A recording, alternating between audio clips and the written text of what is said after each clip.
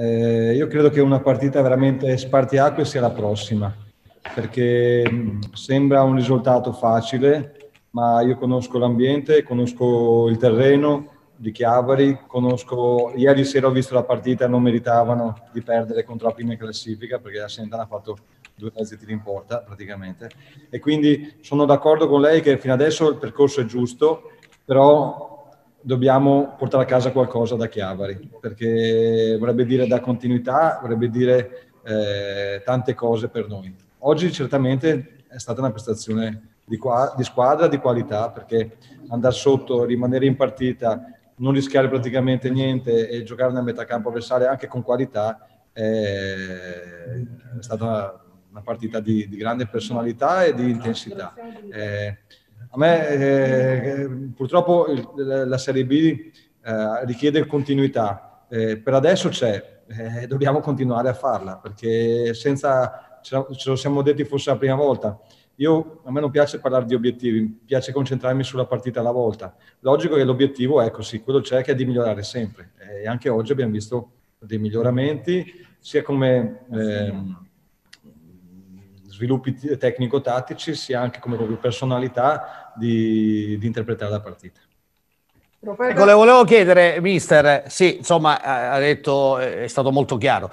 Ordine tattico sicuramente nel primo tempo, grande coraggio, intraprendenza nella ripresa. Tra l'altro senza Seter, anzi le volevo chiedere, ehm, a scopo precauzionale, insomma non era al top della condizione, lo sta gestendo? Qual è il motivo della sua esclusione iniziale?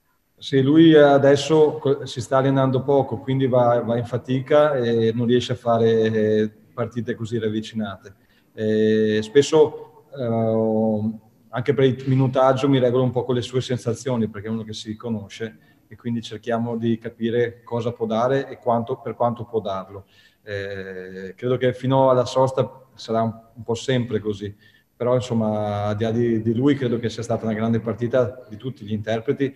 E, e dire insomma mi è piaciuta, mi è piaciuta un sacco come, anche come eh, nel coraggio l'equilibrio perché tu hai giocato sempre nella metà campo avversaria sì. però con, eh, con, le marcature preventive giuste sì, con, senza rischiare mai, è vero. Senza rischiare mai e quando sei nel metà campo avversario è questo quello che devi fare.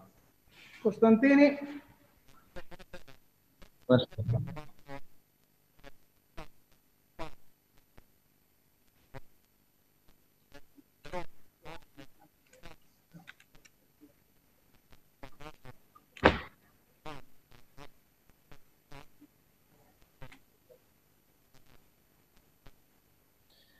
è così anche perché abbiamo talmente pochi allenamenti che tante prove fai anche fatica a farle. A me piace eh, non, cioè, guardo con attenzione sempre tutti i giocatori, poi un minimo di gerarchia in campo met- nel gruppo cerco di mettere, ma una gerarchia che poi sa, devono meritare sempre chi gioca e gli altri non devono pensare che sia così sempre scontata.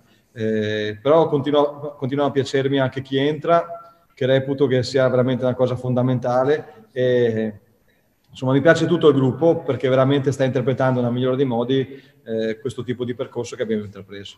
De Carolis? Eh, buonasera mister, eh, io volevo entrare su una questione nel senso che questa è una squadra che ha la quinta partita sua se non vado errato, mi corregga se sbaglio, ormai ha esattamente idea di che cosa fare con il pallone. Cioè questa è una squadra che adesso, oltre a cercare qualche verticalizzazione, adesso cerca anche l'ampiezza, cerca anche molto di più i quinti, vede questa, mh, cioè è contento di questo progresso e quanto ancora può fare il, il Pescara. Grazie. Sono contento, però so anche che poi ogni partita ha una storia a sé e quindi dobbiamo eh, interpretarle sempre nella maniera giusta. Eh, faccio un esempio, mi piacerebbe essere a Chiavari brutto ma efficace, perché la B mh, mm, devi avere più armi, sempre armi diverse e capire nel momento quali usare. Per esempio, eh, col Monza nel secondo tempo abbiamo usato una, un tipo di strategia con una, delle verticalizzazioni più improvvise, invece che sta partita dovevamo farla così. Quindi eh, sono contento perché i ragazzi, appunto, che, quel poco che proviamo, perché veramente poco, lo mettono in pratica. però sono anche abituato a, a sapere che ogni partita prima devi giocarla e poi l'analizzi. Eh, logico che quelle, le partite che, che, fatto, che, hai fatto prima sono la base e, e, certe cose che tu hai fatto poi devi pretendere da te stesso. Non dico tanto sulla qualità del gioco, ma sull'intensità, sulla personalità. Quando le hai fatte qualche volta, poi vuol dire che fanno parte del tuo DNA e non devi mai smettere di farle. Di Sciascio? Sì, mister, buonasera. Tra le cose positive di stasera volevo citarne un'altra e capire se lei è d'accordo.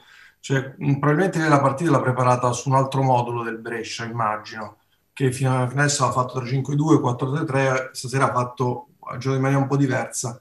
Però la squadra eh, si è rimodulata un po' su quelli che poi sono i riferimenti di cui lei parlava eh, la, la, scorsa partita, cioè ha capito subito che probabilmente Bjarnason eh, non era una mezzala ma era diventato un trequartista, piuttosto che l'arretramento di Ragusa dei, dei tre anche questo credo che sia un bel segnale per la squadra che ha saputo subito rimodularsi su quello che era un atteggiamento tattico che probabilmente non avevate preparato, immagino.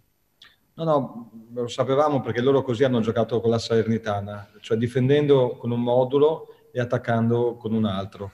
E quindi eh, logico che appunto le complicazioni c'erano e un pochino nel primo tempo qualche uscita più coordinata ci avrebbe permesso di ripartire ancora meglio, però poi appunto nel secondo tempo un abbiamo un po' ripassato quello che dovevamo fare e abbiamo giocato praticamente sempre là.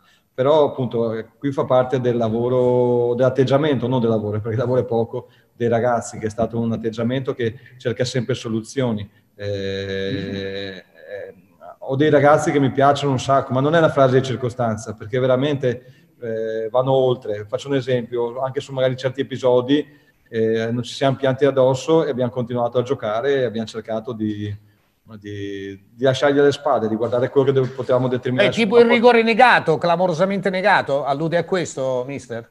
No, no, ma allora io degli arbitri non sono mai, eh, non ne parlo mai, nel bene e nel male. Però magari tu entri al 43esimo dopo un rigore, il rigore per chi lo subisce è sempre un momento di, eh, cioè vedi qualcosa che magari non va, però eh, ce lo siamo detti subito, oh, basta, questo è andato e, e, e pensiamo a giocare e a trovare soluzioni, non a, a, quello che è stato, perché poi dopo appunto a me l'arbitri eh, non, non, non, non, fa parte proprio del mio modo, ma perché eh, eh quello, il messaggio che voglio trasmettere ai ragazzi è di determinare quello che posso determinare. E se sono il primo che piange, eh, che messaggio do? Quindi devo essere il primo che, che passa sopra queste cose. Luigi, se ci sono altre curiosità, altrimenti c'è Bocchetto. Sì, io volevo fare una domanda su Valdifiori. Eh, in che modo è riuscito a trasformare questo, o meglio, a far tornare quello di una volta questo giocatore? Con quello, quello ammirato finora, fino, cioè quello visto oggi, in passato non l'abbiamo visto. Io credo che la scusante o l'alibi del Covid contratto in estate credo che sia ecco, un alibi, appunto. In che modo è riuscito a rimetterlo al centro del progetto se solo fisicamente o anche a livello motivazionale, perché certi giocatori a una certa età devono essere anche un po' motivati dopo eh, trascorsi insomma gloriosi che hanno avuto nel caso di Valdifio. Ah, io, eh, cer- cercando anche di fargli fare in campo quello che sa fare, che ha sempre fatto molto molto bene, e ricreando nel limite possibile per lui e anche per gli altri quelle che sono proprio le, le sue caratteristiche poi a volte viene, a volte non viene e, tanto dipende dai ragazzi perché io posso fare quello che voglio ma poi sta a loro. Lui si è, si è sempre, a me è sempre piaciuto anche nelle partite che magari eravamo meno belli, eh, ha sempre fatto e ha seguito le indicazioni tattiche che, che provavamo a fare. Quindi a me è sempre piaciuto e, e anche mi avevate detto due o tre settimane fa, io sono contento di avere giocatori in squadra con, come lui, ma sono contento di tutta la rosa perché per me è una rosa che ha dei valori. Eh, poi sul resto, appunto, noi possiamo raccontarci quello che vogliamo, ma in campo ci vanno i ragazzi.